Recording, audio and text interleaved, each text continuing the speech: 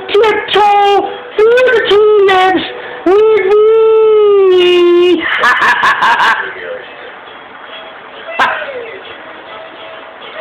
through the tulips with me.